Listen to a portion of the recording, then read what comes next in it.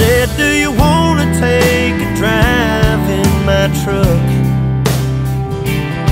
Don't pay no mind to that 12 point buck laid across my